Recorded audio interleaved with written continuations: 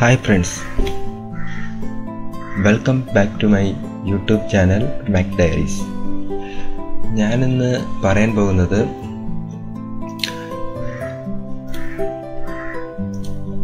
Soul works നമ്മൾ new open ആക്കുമ്പോഴത്തേക്ക് നമുക്ക് മൂന്ന് കാര്യങ്ങളാണ് പറയുന്നത്. Part drawing assembly drawing and drawing ഈ മൂന്ന് കാര്യങ്ങൾ എന്താണ് അതിന്റെ എക്സാമ്പിൾ എന്താണെന്നൊക്കെ പറയാൻ പറ്റിയാണ് പറയാൻ പോകുന്നത്. നമ്മൾ പാർട്ട് ഡ്രോയിങ്സ് ആദ്യം ഓപ്പൺ ആക്കുമ്പോഴത്തേക്ക് ആ പാർട്ട് ഡ്രോയിങ്സിൽ പറയുന്നതെന്ന് വെച്ചാൽ a three D representation of a single design component ഇനി അടുത്ത അസംബ്ലി ഡ്രോയിങ്സിൽ പറയുന്നത് a three D arrangement of parts and other assemblies then drawing drawing പറയുന്നതെന്ന് വെച്ച് കഴിഞ്ഞാൽ two D engineering drawing typically of a part or assembly ഇത് എന്താണെന്ന് നമുക്ക് മനസ്സിലാക്കാം. അപ്പം ഞാൻ ഇതിന് വേണ്ടി മൂന്ന് എക്സാമ്പിൾസ് ആയിട്ട് ഞാൻ മൂന്ന് ഡ്രോയിങ്സ് ഓൾറെഡി വരച്ച് വെച്ചിട്ടുണ്ട്. ഞാൻ ആദ്യമായിട്ട് പാർട്ട് ഡ്രോയിങ്സ് എടുക്കാൻ പോവുകയാണ്. പാർട്ട് ഡ്രോയിങ്സ് എടുക്കുമ്പോഴത്തേക്ക് ആദ്യമായിട്ട്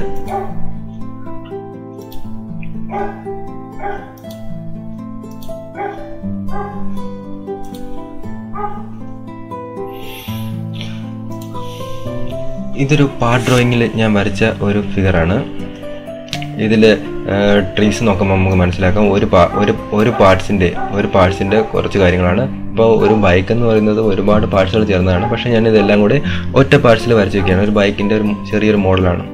ഇതിപ്പോൾ കംപ്ലീറ്റ് അല്ല. നമുക്ക് ഒരു പെട്ടെന്നുണ്ട പെട്ടെന്നുള്ള ഒരു പെട്ടെന്ന് നമുക്ക് മനസ്സിലാക്കാൻ വേണ്ടി ഞാൻ ഇപ്പോൾ വരച്ചതേ ഉള്ളൂ. ഇതൊരു പാർട്ട് ഡ്രോയിങ് ആയിട്ടാണ് ഞാൻ വരച്ചിരിക്കുന്നത്. ഒരൊറ്റ പാർട്ടാണ് ഇതിന് നമുക്ക് ഇതിപ്പോൾ നമുക്ക് എല്ലാ ഇപ്പോൾ ഇതൊരു അസംബ്ലി ഡ്രോയിങ് ആണെങ്കിൽ നമുക്ക് ഇതിന്റെ എല്ലാ പാർട്സിലും നമുക്ക് മൂവ്മെന്റ് നടത്താൻ പറ്റുന്നതായിരിക്കും. പക്ഷേ ഇത് വെറും ഒരു പാർട്ട് ഡ്രോയിങ് ആണ്.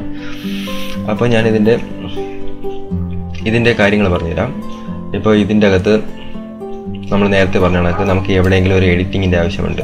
അപ്പോൾ നമുക്ക് ഇവിടെ ഇങ്ങനെ ക്ലിക്ക് ചെയ്ത് കൊണ്ടുവന്നിട്ട് മുകളിലോട്ട് കൊണ്ടുപോയിട്ട് നമുക്കിപ്പോൾ ഈ ഒരു പോർഷൻ എഡിറ്റ് ചെയ്യണം. അപ്പോൾ അത്രയും കാര്യങ്ങൾ മുന്നോട്ട് പോയി കഴിഞ്ഞെന്നാണ് അതിന്റെ അർത്ഥം. നമ്മൾ നോക്കാം. ഇപ്പോൾ ഇതെടുത്തിട്ട് ഞാൻ കുറച്ചുകൂടെ മുന്നോട്ട് പോയി. കണ്ടോ?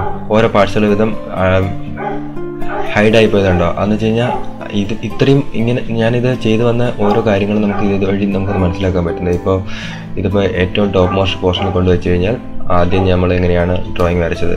ആദ്യം ഒരു ഒരു കൊച്ചു ഷാഫ്റ്റ് ഒരു കൊച്ചു ഷാഫ്റ്റ് വരച്ച്. പിന്നെ നമ്മൾ കുറച്ചുകൂടെ താഴ്ത്തുമ്പോഴത്തേക്ക് ആദ്യം അതിന്റെ ഹാൻഡിലിന്റെ കാര്യങ്ങളൊക്കെയാണ് നമ്മൾ ആദ്യം വരച്ചത്. പിന്നെ നമ്മളിങ്ങനെ പോകുമ്പോഴത്തേക്ക് പിന്നെ അതിന്റെ ടാങ്ക് വരച്ചു സീറ്റ് സീറ്റ് അങ്ങനെയൊക്കെയുള്ള കാര്യങ്ങൾ വരച്ച്. പിന്നെ കുറച്ചുകൂടെ അതിന്റെ ഷീൽഡും കാര്യങ്ങളും പിന്നെ ടെയിൽ ലാമ്പ് അങ്ങനെയൊക്കെയുള്ള കാര്യങ്ങളൊക്കെ നമ്മൾ വരച്ച്. പിന്നെ നമ്മൾ ടയർസ് ടയർ ടയറിന് വേണ്ടി നമുക്കൊരു ഇതുണ്ടാക്കി. അങ്ങനെ അങ്ങനെ നമുക്ക് താഴോട്ട് പോയി ഇതിന് എവിടെയെങ്കിലും നമുക്ക് എഡിറ്റ് ചെയ്യണമെങ്കിൽ ഈ ഈ roll back button roll back വെച്ചിട്ട് നമുക്ക് കൊണ്ടുപോയതിന് ശേഷം അവിടെ നമുക്ക് എന്തെങ്കിലും ഒരു മോഡിഫിക്കേഷൻ വേണമെങ്കിൽ അവിടെ എഡിറ്റ് ചെയ്ത് കഴിഞ്ഞാൽ ആ ആ ഒരു ഫീച്ചർ അവിടെ സേവ് ആവും. അല്ല നമ്മൾ ഏറ്റവും ബോട്ടം പോർഷനിൽ കൊണ്ടുവച്ചിട്ടാണ് അടുത്ത ഒരു ഒരു ഒരു പുതിയ ഭാഗം വരയ്ക്കുന്നത്. അതായത് ഇതിന്റെ അകത്തുള്ള ഏതെങ്കിലും ഒരു ഭാഗം വരയ്ക്കുന്നതെങ്കിൽ അത് ഇതിന്റെ ബോട്ടം പോർഷനിലേ വരവുള്ളൂ. അപ്പോൾ നമുക്ക് ചിലപ്പോൾ ഇപ്പോൾ ഞാനിപ്പോൾ ഒരു ഒരു ഇത് ഇതിപ്പോൾ ഒരു കവറിങ് ഉണ്ടാക്കി. ആ കവറിങ്ങിന്റെ അകത്താണ് ആ സാധനം. അപ്പോൾ ഞാൻ പിന്നെ കൊണ്ട് വയ്ക്കുമ്പോഴത്തേക്ക് അതിൽ നമ്മൾ വിചാരിച്ചത്ര പെർഫെക്ഷൻ കിട്ടത്തില്ല. അതുകൊണ്ടാണ് നമുക്ക് ഇടയ്ക്ക് വെച്ച് റോൾ ബാക്ക് വെച്ച് നമുക്ക് ബാക്കിലോട്ട് പോയിട്ട് നമുക്കത് എഡിറ്റ് ചെയ്യാൻ പറ്റുന്നു. ഇതാണ് ഒരു പാർട്ട് ഡ്രോയിങ് എന്ന് പറയുന്നത്. ഇനി ഞാൻ അടുത്തതായിട്ട് ഇതിൽ നോക്കുമ്പോഴത്തേക്ക് നമുക്ക് മനസ്സിലാക്കാം.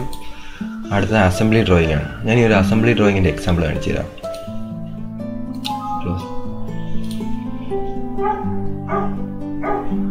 ഇതൊരു അസംബ്ലി ഡ്രോയിങ് ആണ്. ഞാനിപ്പോൾ ഞാനിപ്പോൾ ഒരു വരച്ച ഒരു ഒരു പെഡൽസ് ഒക്കെ ഉള്ള ഒരു അസംബ്ലി ഡ്രോയിങ്സ് ആണ്. ഒരു ഇതൊരു പ്രൊപ്പലറും ഇതൊരു റഡറുമാണ് അതിന്റെ ഒരു അസംബ്ലി ഡ്രോയിങ്സ് ആയിട്ട് നമുക്ക് കാണിച്ചു തരാം ഇപ്പോൾ ഈ അസംബ്ലി ഡ്രോയിങ്സിന്റെ അകത്ത് നമ്മൾ ഒരുപാട് ഇൻഡിവിജ്വൽ ആയിട്ടുള്ള പാർട്സുകൾ നമ്മൾ ആഡ് ചെയ്ത് വെച്ചിട്ടുണ്ട്. നമുക്കിവിടെ നോക്കുമ്പോഴത്തേക്ക് മനസ്സിലാകും. ഇതെന്ന് പറഞ്ഞ ഒരു പാർട്സാണ് ഇതെന്ന് പറഞ്ഞാൽ മറ്റൊരു പാർട്സാണ് ഇതെന്ന് പറഞ്ഞാൽ മൂന്നാമത്തെ പാർട്സാണ് ഇതൊരു മൂന്ന് പാർട്സുകൾ യോജിച്ച് വെച്ചതാണ്. അപ്പോൾ ഇങ്ങനെ ഒരു പാർട്സുകൾ നമ്മൾ അസംബിൾ ചെയ്ത് വെക്കുമ്പോഴത്തേക്ക് നമുക്ക് വേണമെങ്കിൽ ഇതിൽ മൂവ്മെന്റും കാര്യങ്ങളൊക്കെ നമുക്ക് നോക്കാൻ പറ്റും. ഇതിപ്പോൾ എത്ര എങ്ങോട്ടൊക്കെ മൂവ് ആവുന്നു അതിന്റെ മൂവ്മെന്റ് എങ്ങനെയാണ് ഇതിന്റെ ടോപ്പ് മോസ്റ്റ് ടോപ്പിലോട്ട് പോകുന്ന മൂവ്മെന്റ് ഞാൻ ലോക്ക് ചെയ്ത് വെച്ചേക്കാണ്. അതുകൊണ്ട് മാത്രമാണ് ഇതിങ്ങനെ റോൾ ചെയ്തുകൊണ്ടിരിക്കുന്നത് ഇനി ഇതിന്റെ മൂവ്മെന്റ് ഈ മൂവ്മെന്റ് എങ്ങനെയാണ്? ഇത് അങ്ങനെയൊക്കെയുള്ള കാര്യങ്ങളൊക്കെ നമുക്ക് അസംബ്ലി ഡ്രോയിങ്സ് വഴി ചെയ്തതിന് ശേഷം നമുക്ക് മനസ്സിലാക്കാൻ പറ്റുന്നു. ഇപ്പോൾ ബാക്കിയുള്ള ഇപ്പോൾ ഇതെന്തുകൊണ്ട് നമുക്ക് ഇങ്ങോട്ടോട്ട് മൂവ് ചെയ്യാൻ പറ്റുന്നില്ല? അതെന്ന് വെച്ച് കഴിഞ്ഞാൽ നമ്മൾ ഞാനത് അത് ലോക്ക് ചെയ്ത് വെച്ചേക്കാണ്. അത് മേറ്റ് ചെയ്തപ്പോഴത്തേക്ക് ഞാൻ കുറച്ച് റിലേഷൻസും കാര്യങ്ങളൊക്കെ കൊടുത്തതുകൊണ്ടാണ് ഈ അസംബ്ലി ഡ്രോയിങ്സ് ഇങ്ങനെയുള്ള രീതിയിൽ മാത്രം മൂവ്മെന്റ് നടത്തുന്നത്. ഓക്കെ ഇതാണ് അസംബ്ലി ഡ്രോയിങ്സ് അസംബ്ലി ഡ്രോയിങ്സ് എന്ന് പറയുമ്പോഴത്തേക്ക് കുറച്ചുകൂടെ ടൂൾസുകളുണ്ട് അതായത് ഇത് mate mating tools mating tools ആണ് ഇതിന്റെ ഇമ്പോർട്ടന്റ് ആയിട്ടുള്ളത്. കാരണം ഒരുപാട് പാർട്സുകൾ കൊണ്ടുവന്നിട്ട് നമ്മൾ കുറച്ച് റിലേഷൻസും കാര്യങ്ങളും കൊടുത്തു.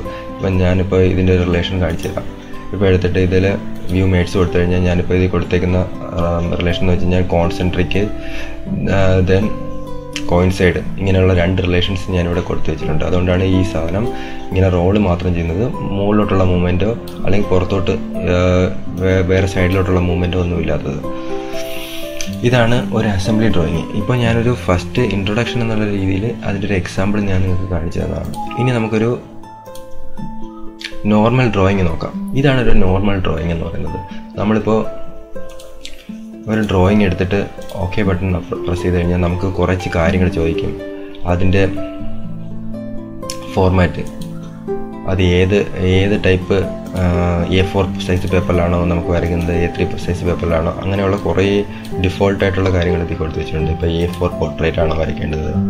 അല്ല എ ത്രീ ലാൻഡ്സ്കേപ്പ് ആണോ വരയ്ക്കേണ്ടത്? അത് നമുക്ക് അത് നമുക്ക് ഏത് ഡ്രോയിങ് ആണ് അത് ചൂസ് ചെയ്തിട്ട് കൊടുത്ത് അതിന്റെ അകത്ത് വരച്ചു കഴിഞ്ഞാൽ നമുക്ക് പ്രിന്റ് എടുക്കുമ്പോഴത്തേക്ക് ആ ആ ഒരു സൈസിൽ നമുക്ക് പ്രിന്റ് എടുക്കാൻ പറ്റുന്നു. ഇതിൽ ഇപ്പം ഞാൻ ഓൾറെഡി ഓപ്പൺ ആക്കി വെച്ചിട്ടുണ്ട്. ഒരെണ്ണം. ഒരു ഒരു എ ഫോർ സൈസിലാണ് ഞാൻ ഓപ്പൺ ആക്കി വെച്ചിരുന്നത്. അപ്പോൾ അതിന്റെ അകത്ത് ഡ്രോയിങ്ങിൽ നമുക്ക് കുറച്ച് നമ്മൾ സാധാരണ എഞ്ചിനീയറിംഗ് ഡ്രോയിങ് വരയ്ക്കുമ്പോഴത്തേക്ക് കുറച്ച് കാര്യങ്ങളൊക്കെ അവിടെ നമ്മൾ കൊടുക്കാറുണ്ട്. ആ കാര്യങ്ങളൊക്കെ നമുക്ക് കൊടുക്കാനുള്ള പോർഷൻ വേക്കന്റ് ആയിട്ട് ഇട്ടിട്ടുണ്ട്. നമുക്ക് അവിടെ എന്തെങ്കിലുമൊക്കെ ആഡ് ചെയ്യണമെങ്കിൽ നമുക്കിവിടെ എഡിറ്റ് ചെയ്ത് ടൈപ്പ് ചെയ്യാവുന്നതാണ്. അപ്പോൾ ഇതെന്ന് പറഞ്ഞ ഒരു ഒരു ഡ്രോയിങ് ആണ്. ഇത് അതിന്റെ ഒരു ഒരു ടയറിന്റെ മുകളിലുള്ള ഒരു പോർഷനാണ് ഞാൻ ഇവിടെ വരച്ച് വെച്ചേക്കുന്നത്. അപ്പോൾ അതിന്റെ അതിന്റെ കാര്യങ്ങളാണ് ഇതിൽ കൊടുത്തേക്കുന്നത്. അപ്പോൾ നമുക്ക് മനസ്സിലാവും ആ ടു ത്രീ ഡിയിൽ വരച്ച കാര്യങ്ങൾ ത്രീ ഡിയിൽ വരച്ച കാര്യങ്ങൾ നമുക്ക് അവിടെ നിന്ന് നമ്മൾ ഈ ഇത് വരയ്ക്ക വരയ്ക്കണ്ട. അതെടുത്ത് കൊണ്ടുവന്ന് ഇവിടെ ആ സംഭവം കൊണ്ടുവന്ന് കോപ്പി ചെയ്ത് കോപ്പി ചെയ്തിട്ടാൽ മതിയാവും. ആ കോപ്പി ചെയ്തിടുമ്പോഴത്തേക്കും നമുക്ക് അവിടെ നിന്ന് ഈ സംഭവങ്ങളെല്ലാം നമുക്ക് ഈസി ആയിട്ട് ഡ്രോ ചെയ്തെടുക്കാൻ പറ്റും. അപ്പോൾ നമുക്ക് ഡ്രോയിങ് എന്ന് പറയുന്നതിനെക്കുറിച്ച് പിന്നെ ബോധേഡാവേണ്ട ആവശ്യമില്ല. കാരണം നമ്മൾ ത്രീ ഡിയിൽ വരച്ചു കഴിഞ്ഞാൽ ആ വരച്ച സാധനങ്ങൾ ഇൻഡിവിജ്വലായിട്ട് നമുക്ക് ടു ഡി ഡ്രോയിങ്സ് ചെയ്യാൻ വേണ്ടി വളരെ ഈസിയാണ് അതും ഇതിന്റെ പ്രത്യേകത എന്ന് വെച്ച് കഴിഞ്ഞാൽ ഡയമെൻഷൻ എന്ന് വെച്ച് കഴിഞ്ഞാൽ നമ്മൾ നമ്മൾ ഫുൾ അനലൈസ് ചെയ്തായിരിക്കും ത്രീ ഡി വരച്ച് ചെയ്യുന്നത് അപ്പോൾ അതിന്റെ ഡയമെൻഷനും കാര്യങ്ങളൊക്കെ വളരെ പക്കയായിരിക്കും ഇവിടെ ചെയ്യുമ്പോഴത്തേക്ക്. അപ്പോൾ നമുക്ക് ഡ്രോയിങ്ങിന് വേണ്ടി ഒട്ടും സമയം വേസ്റ്റ് ആക്കണ്ട. അപ്പോൾ നമുക്ക് ഏതെങ്കിലും ഒരു അസംബിൾ ചെയ്തുകൊണ്ടിരിക്കുന്നു. അപ്പോൾ ഏതെങ്കിലും ഒരു പുതിയ പാർട്സ് ഉണ്ടാക്കണം. അപ്പോൾ നമുക്ക് വർക്ക്ഷോപ്പിലോട്ട് ആ പാർട്സിന്റെ ഡ്രോയിങ് കൊടുക്കണം. ഡ്രോയിങ് കൊടുക്കുമ്പോഴത്തേക്ക് നമ്മുടെ ഉള്ള ഒറിജിനൽ നമ്മൾ മോഡൽ ചെയ്ത് വെച്ചിരിക്കുന്ന ആ പാർട്സിന്റെ പാർട്സ് ഡയറക്റ്റായിട്ട് നമുക്ക് ഇവിടെ കൊണ്ടുവന്ന് ഒരു ടു ഡി ഡ്രോയിങ്സ് ആയിട്ട് മാറ്റിയിട്ട് നമുക്കത് പെട്ടെന്ന് തന്നെ പ്രിന്റ് ഔട്ട് എടുത്ത് കൊണ്ടുവന്ന് വർക്ക്ഷോപ്പിൽ വർക്ക്ഷോപ്പ് ചെയ്യാനാണെങ്കിൽ അവിടെ കൊണ്ട് ചെയ്യിപ്പിക്കാൻ പറ്റുന്നു. അപ്പോൾ ഇത് വളരെ ഈസി ആയിട്ട് ചെയ്യാൻ പറ്റുന്നു. അതാണ് നമുക്ക് ആക്ച്വലി ഡ്രോയിങ്ങിന് വേണ്ടി ഒട്ടും തന്നെ ടൈം ചിലവാകുന്നില്ല എന്നതാണ് ഇതിന്റെ പ്രത്യേകത എന്ന് പറയുന്നത്. Thank you for watching my video. Thank you friends.